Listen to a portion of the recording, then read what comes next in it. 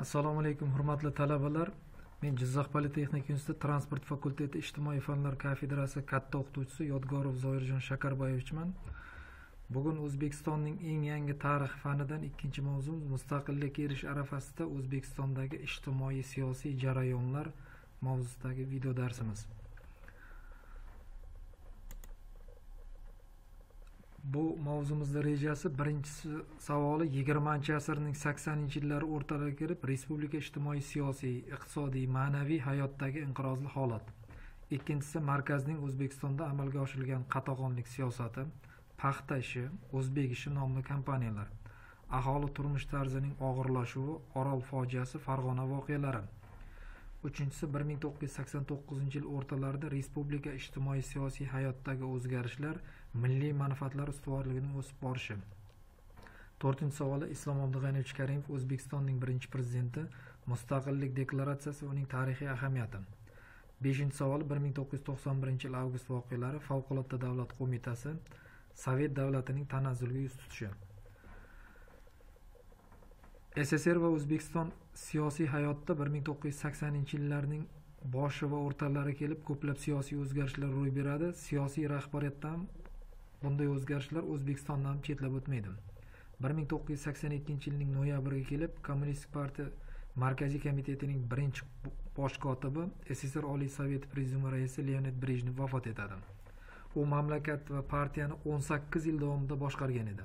bir ming to'qqiz yuz sakson ikki sakson to'rtinchi yillarda yuriy andropov bir ming to'qqiz yuz sakson to'rt sakson beshinchi yillarda konstantin chernenko sovet ittifoqiga rahbarlik qiladi.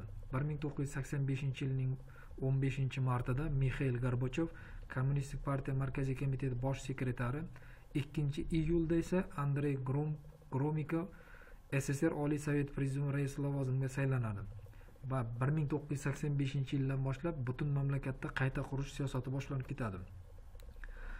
Yigirmanchi asrning saksoninchi yillariga kelganda sovet rejimi uning siyosiy tuzumi va xo'jalik yuritish usullari o'zining rivojlanish imkoniyatlarini bevosita tugata boshlaydi. O'zbekistonning iqtisodiyoti katta xomashyo va tabiiy boyliklar zaxirasiga ega bo'lishiga qaramasdan sssrning markaziy hududlaridan ancha orqada qolib ketgan edi.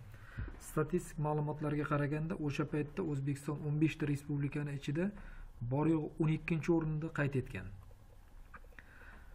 Bundan keyin o'sha paytda sovet rejimining o'zbekistondagi qatag'onlik siyosati ya'ni bir ming to'qqiz yuz sakson to'rtinchi yil yigirma uchinchi iyunda bo'lgan o'zbekiston kompartiyasi markaziy komitetining o'n oltinchi plenumida mash'um muhim bitta tashabbus ya'ni moskva ko'rsatmasi bilan tashkil qilingan hujjatda o'zbekistonda o'zbek xalqini asossiz badnom qilish kampaniyasini boshlab beradi.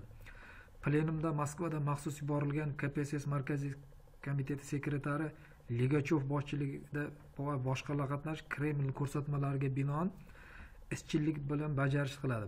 Aynan ushbu plenum qarorlari markaz tomonidan o'zbekistonda paxta ishi degan kompaniyani siyosiy qatag'onni boshlab beradi. Keyinchalik qatag'on o'zbekiston ssrning o'sha paytdagi sobiq va birinchi rahbarlaridan chetlab o'tmaydi. Va bir ming to'qqiz yuz sakson uchinchi yilga kelib o'zbekistonga yuborilgan maxsus sssr bosh prokurorining alohida muhim ishlar bo'yicha maxsus tergovchilar guruhi tuzilib sakson uchinchi yil boshlab o'zbekistonga yuboriladi. Ana shunday maxsus tergovchilar guruhi asosiylaridan biri gdlyan bilan ivanovlar rahbarligida bir ming to'qqiz yuz sakson uchinchi yil aprelda tuzilgan edi. Ular keyinchalik markaziy respublikaga desantchilarga o'zbekiston navbatdagi qatag'onlikni amalga oshiradi. Ushbu davrda bir ming to'qqiz yuz sakson uch sakson yettinchi yillarda mingga yaqin desantchi o'zbekistonning partiya sovet ma'muriy xo'jaligi o'rnida yuqori rahbarlik lavozimiga ishga yuborilgan edi.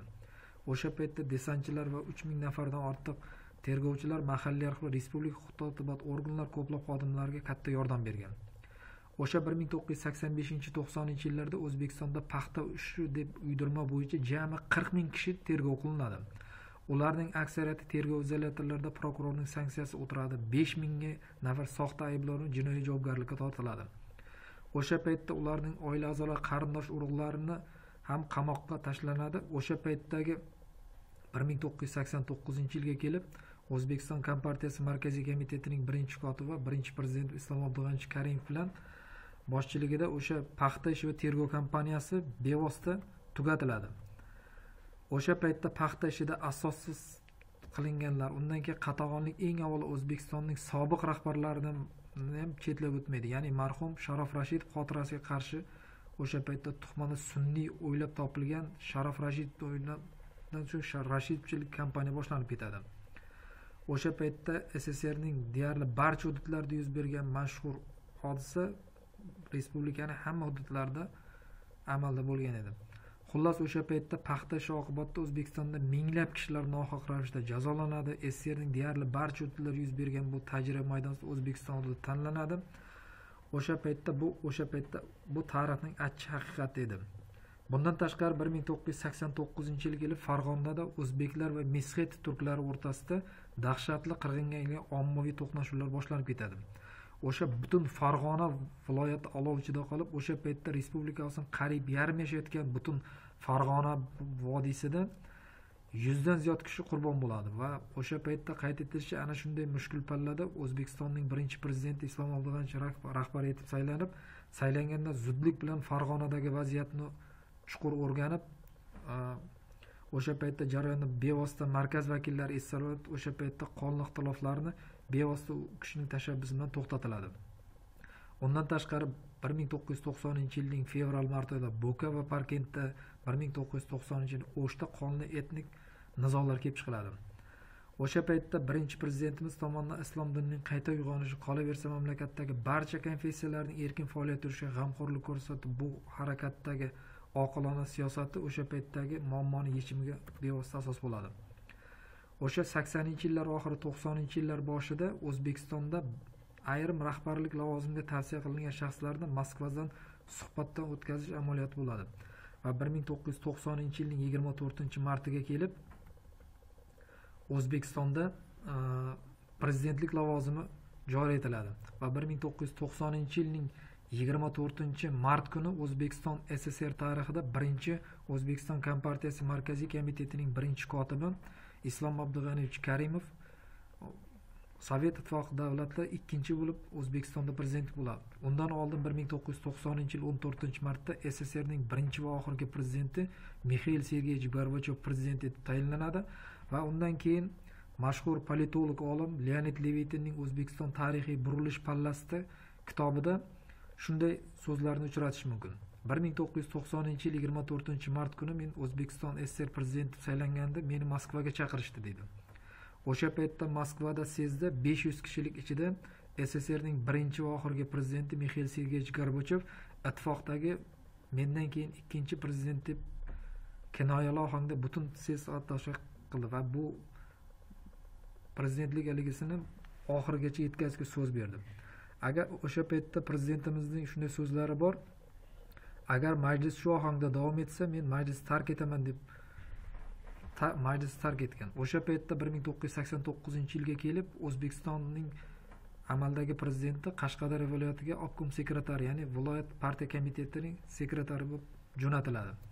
O'sha paytda o'zbekistondagi vaziyat shu darajaga borib yetadiki o'zbekistonda boshqaradigan yagona lider ya'ni siyosiy yetakchi bo'lgandan keyin majbur bo'ladi o'sha paytda meni o'zbekistonda hokimiyat tepasiga olib kelishiga va undan keyin o'zbekistonda mustaqillikning ilk biri bir ming to'qqiz yuz sakson to'qqizinchi yil yigirma birinchi oktyabrda davlat tili to'g'risidagi qonun qabul qilinadi va bu mustaqillik yo'lidagi birinchi muhim siyosiy qadamlardan biridir.